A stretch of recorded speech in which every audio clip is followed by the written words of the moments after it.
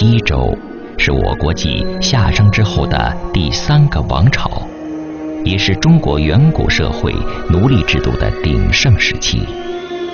但是，这个王朝的先祖却可以追溯到黄帝时期。更为奇特的是，周族人从一开始似乎就是一个特别善于农耕的部落。在戎狄与商王朝的双重压迫下，这个从西北高原风尘仆仆迁徙到今天陕西一带的部落，是怎样歼灭自己的对手？又是如何创造性的开创了新的王朝？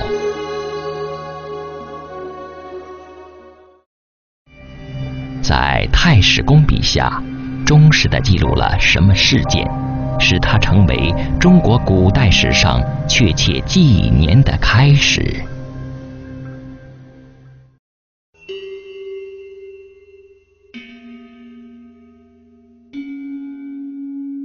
周人发源于中国西部一个古老的部落，他的始祖名气号称后继，因为善于农耕，他被帝尧任命为农师。后人尊称其为农神。起初，后继的子孙带领周人在渭水流域从事耕牧。由于受到戎狄的挤压，周人只好不断迁徙，直至古公胆父率族人迁居至周原，也就是今天的陕西岐山县，才开始稳定下来。经过不断的积累和发展，周人开始以周为国名。但当时，周还只是臣属于商的一个小方国。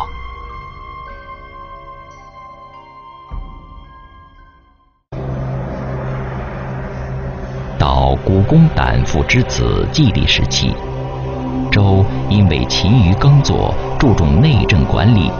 实力急剧膨胀，对商王朝的统治构成了威胁。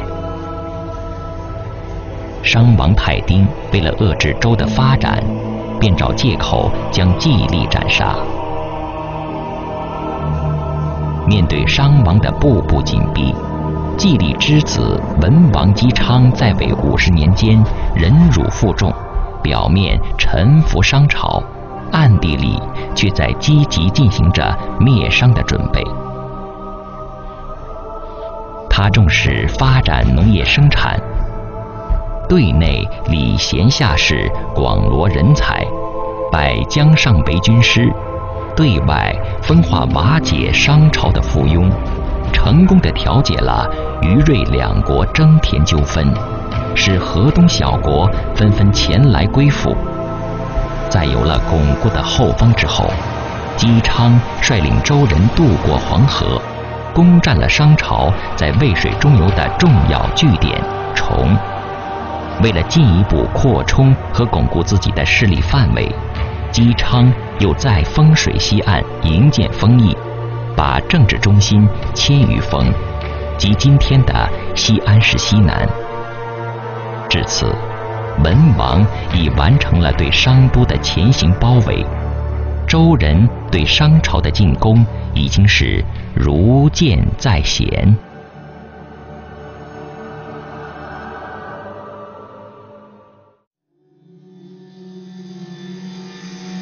就在周人励精图治、蓄势待发之际，文王离开了人世，其儿子姬发继位。史称周武王。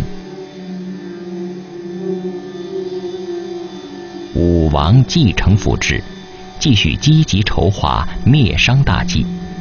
他一如既往的信任并倚重姜尚，由他负责军事，同时又任命其弟周公旦位辅佐，负责管理政务。经过一段时间的积累。周武王在继位九年后，抓住商纣王统治分崩离析的有利时机，率师东进，展开了试探性的进攻。武王凭借雄厚的实力和在诸侯之中的威信，率军队一路所向披靡，于河南孟津大会八百诸侯。但鉴于商朝实力依然强大，灭商的时机尚不成熟，武王在会盟之后便主动撤军。就在孟津之会后的第二年，商朝因为纣的淫乱而导致统治核心严重分裂，商纣王彻底孤立。而此时商朝的主力正在东方与东夷各族作战，伐纣时机已经成熟。周武王抓住这一历史契机，亲率大军在孟津会合各路诸侯。又联合西南地区和江汉流域的少数民族，灭商的帷幕就此拉开。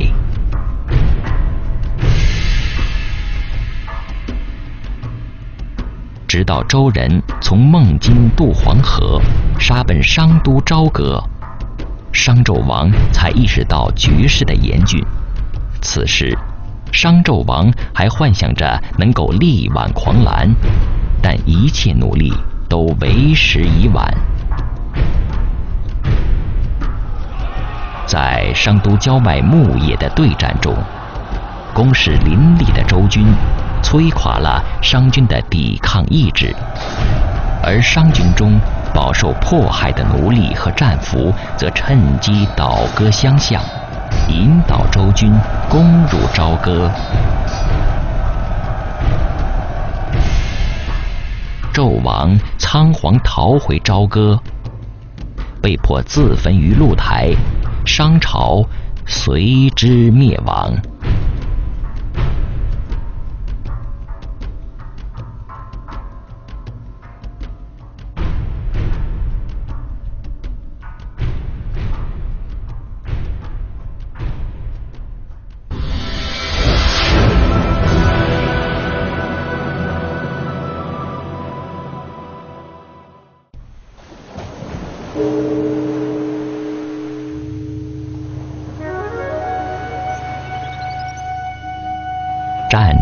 上的硝烟已经褪去，周人在赢得胜利的同时，已经由一个西部方国一跃而成为天下的主宰。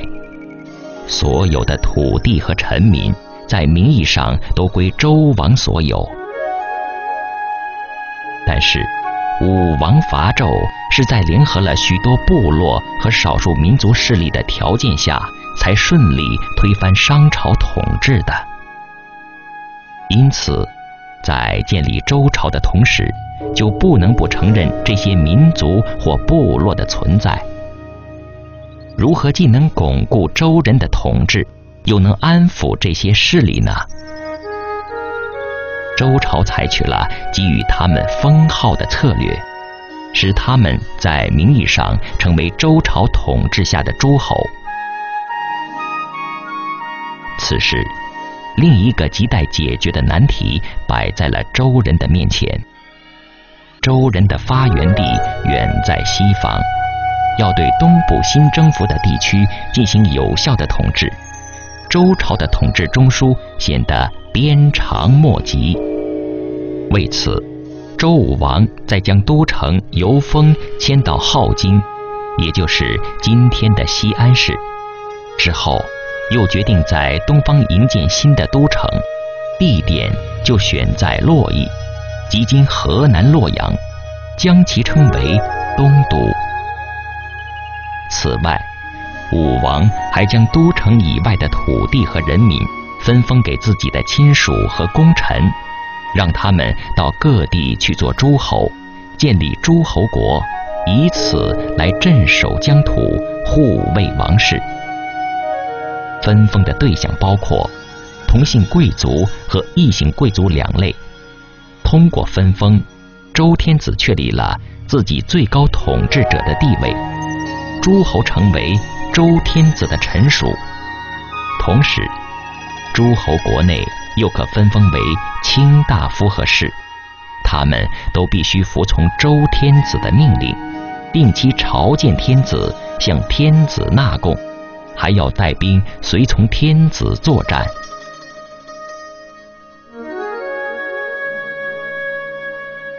分封加强了周朝对中原周边地区的控制，而姬姓封国基本上都安排在周王朝管辖的中心或关键区域，以拱卫保护周王室的安全。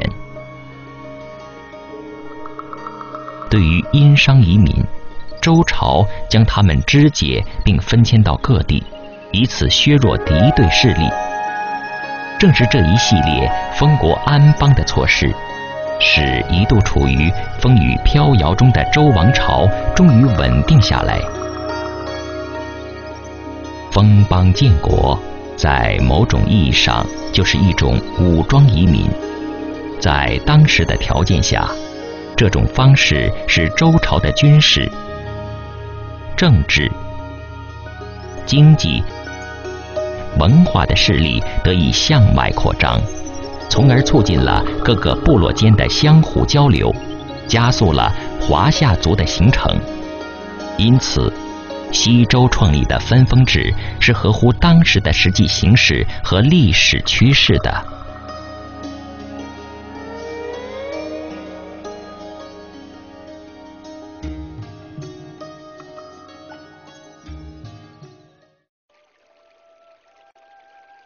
为了将各诸侯和臣民牢固地束缚在土地上，西周大力推行井田制这一土地国有制度。之所以称为井田，是因为当时的土地被道路和渠道分隔成若干的方块，形状酷似井字。井田为周王所有，在分封和实际的生产过程中。由周王分配给庶民使用，领主不得买卖和转让井田，还要为王室上交一定的贡赋。但是，在各诸侯实际的管理之中，出于个人的利益需求，他们常常擅自割让或交换土地，国有的土地渐渐变为私有财产，同时。随着生产力的提高，人们不断开垦新的土地，私田的数量随之急剧增加。私田的出现，动摇了以井田制为基础的土地公有制，使分封制失去了赖以生存的经济基础，但它却极大地促进了农业生产的发展。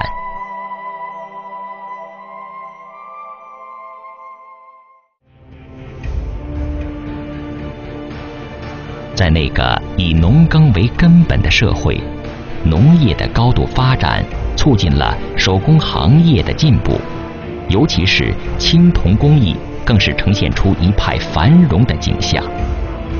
除王室控制的青铜作坊外，诸侯国也都有自己的青铜作坊，青铜器产品的数量越来越多，不再像商朝那样以祭祀礼器为主。其用途几乎涉及到社会生活的各个方面，农业和青铜业的发展带动了畜牧、纺织、建筑、天文、地理等科学技术的进步。这些成果丰富了人们的生产和生活，造就了中国第一个盛世。随着经济的发展，原有的地域已经不能满足周朝贵族的需求。为了进一步拓展自己的生存空间，西周从成王至穆王都处于向外扩张的时期。周王朝的疆域和人口随之不断的扩大，政治、经济、文化空前繁荣。达到了周朝的鼎盛时期，但是到了昭王后期，他亲率大军南征伐楚，却因不得民心而惨遭失败，昭王也淹死在了汉水。至此，周朝也丧失了开拓进取的魄力。但是，在周天子将视线转回国内之时，却因为急功近利而引发了一场载入史册的风波。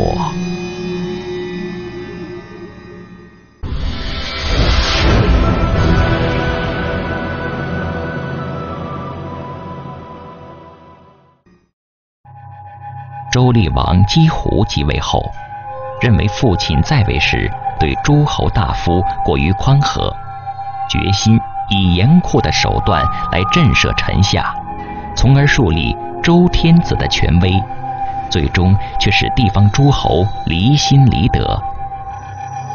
周厉王本人贪财好利，一个叫荣夷公的臣子便唆使厉王。对山林川泽的物产实行专利，即由天子直接控制，不准国人及住在都城及附近的平民以之谋生。周厉王听了很中意，置大臣的规劝和平民的反对于不顾，毅然推行了专利政策。厉王与民争利。使国人无法谋生，以致怨声载道。对此，厉王采取高压政策，禁止国人平议朝政，甚至将许多不满专利的平民逮捕杀死。最终，亲友熟人在路上相遇时，就只看上一眼，不再说话。这就是后人所说的。道路以目。大臣少公劝诫道：“防民之口，甚于防川。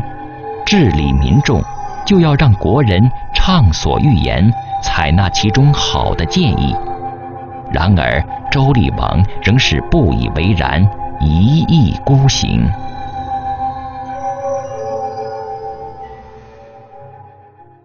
公元前八百四十一年的，无可忍的国人手持木棒、农具等武器，发动武装暴动，从四面八方扑向王宫。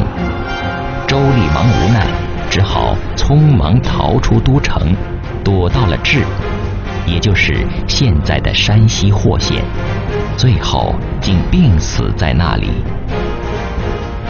国人暴动。是我国历史上有文字记载的第一次大规模的群众性武装暴动。在这场疾风骤雨般的冲突中，厉王的残暴统治被推翻，统治阶级第一次见识到了人民的力量。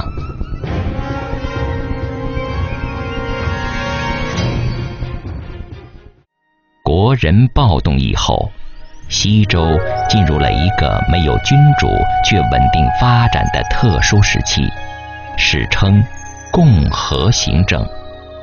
关于共和行政，历来有两种说法：一种说法是，厉王被推翻后，共伯和便受到拥护，代行周天子的职务；另一种观点认为，国人暴动以后，贵族们。推举周公和少公暂时代理政事，史称周少共和或共和行政。无论哪一种说法，这一年都被称为共和元年，即公元前八百四十一年。